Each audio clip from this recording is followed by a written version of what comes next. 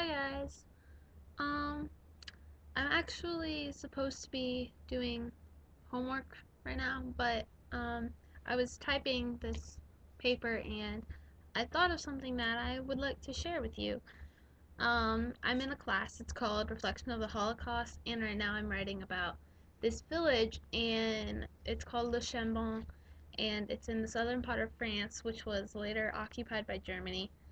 And the people there saved 500,000 people by sheltering them, and there was only 500,000 people in this town. So each person was responsible for saving another person or more. They don't know exactly how many. The 500,000 is a low is the low estimate. And I think that this is like a perfect example of something that uh, people are afraid to do today because let's say because these people they went against this giant Nazi government because they thought that killing all these people was wrong. And today we just we just let our government do whatever they want. If our government decides that it's okay to forbid people of the same sex to be married, then like we say it's wrong and sometimes it gets changed, but a lot of the times people just sit there and they're apathetic about it. And we need to not be apathetic about things because apathy is the worst. The opposite of love is not hate, it's indifference.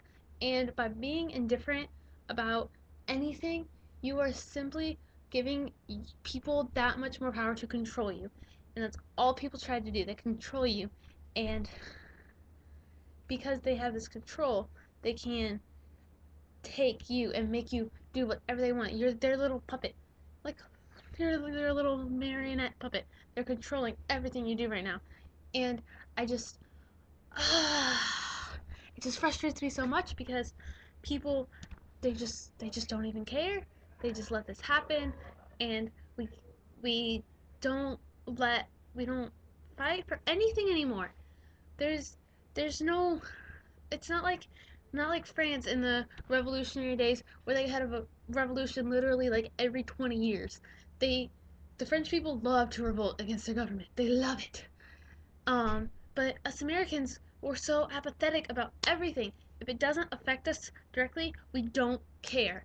And be, that not caring is going to screw us over. I guarantee it. Because you can't just sit there and let your government decide everything for you.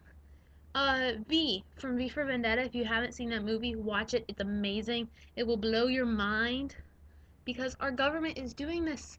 They're brainwashing us to think that they're good, and then they're they're not. They're corrupt, and politicians, they're all corrupt. Like, I don't care.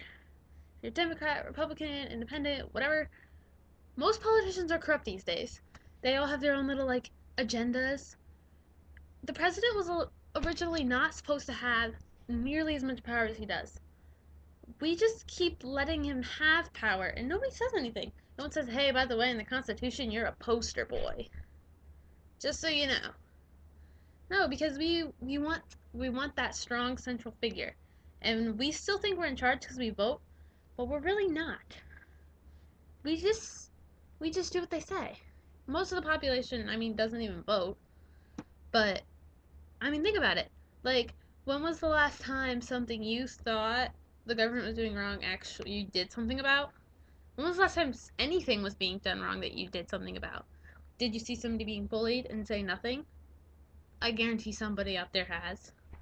Had, did you maybe maybe you witnessed a crime and you just you just let it happen. Maybe you saw maybe you were at a party and you saw somebody being taken advantage of and you didn't stop it. Like all of these things because they're not affecting us. We, we're just indifferent about it and that's horrible. We we need to be passionate about things. We need to go out and we need to change the world because without anybody caring about changing the world without any with all this indifference in the world we're all going to go back and we're going to have another holocaust because nobody cares everyone's just indifferent about everything and it, it drives me crazy i I want to be passionate about things. I want to I want to see people's passion. I don't want to see indifference because indifference kills the world. It really does. You know how many people were indifferent about World War II until after it happens and they're like, "Oh, we probably should have cared about that." We probably should have cared that they were taking all of these people to death camps. And I'm not just talking about the Jews, I'm talking about the gypsies and the handicapped and the homosexuals and the Jehovah's Witnesses. All of them, they were all killed just because of who they were. And everyone was just, oh, no, it's not affecting me, so I don't care. And there's there's a quote, and it's by somebody famous, and I don't know the exact quote, so forgive me for quoting this really badly. But I'm this is not a planned vlog at all. It's just kind of meh. So, um, it goes something to the effect of, uh, they came for the Jews, and I wasn't a Jew, so I didn't speak up. And then they came for the priests, and I wasn't a priest, so I didn't speak up. And when they came for me, there was nobody left to speak for me. And that's not the whole thing, but it's kind of, it gives my point, because unless, unless they're coming for you, you don't care. But then when they are coming for you, nobody else cares because it's not them. And we need to we need to be passionate about things and we need to stop stop things that are wrong. We we just can't let can't continue to let all these horrible things in our world happen because without without without people trying to change things, nothing is going to happen. And without people people like you, people that are like I can you you have an opinion about these things. Can't do something about it. Don't just don't just sit there and be like, oh, yes, I understand what she's saying, but I'm not going to do anything because then you're not listening to me. You need to be passionate about something, change something. Don't just sit there and accept what the world is. Don't accept the horrible things that are happening because it's not okay. It's not okay that it's not okay that people kill themselves because they're being bullied. It's not okay that that 6 million people were killed because nobody everyone was just appeasing everybody else. It's not okay that that this little village in Chambon was the only the only group of one of the only groups of people that just they just saved lives just because they they knew they should. We we should all be able to do that. We all have the capacity to be really good people, but for some reason we're just not. We should not have these stories of date rape where people were with their friends and they were out and somebody like took them away and their friends didn't do anything because because they didn't want to they didn't want to impose. Like this these things need to stop. And the only way they're going to stop is if we start doing something about it.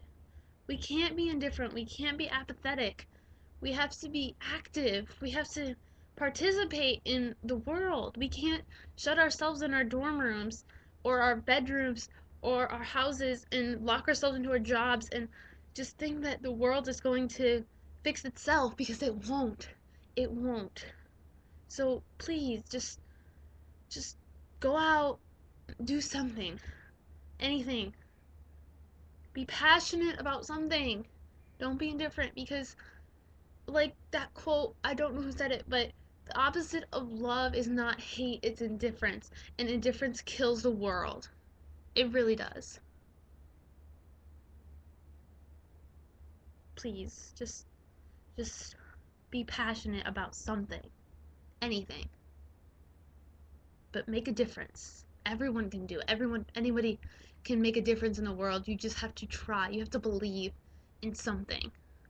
I don't care what you believe in, but believe in something. Something to change the world.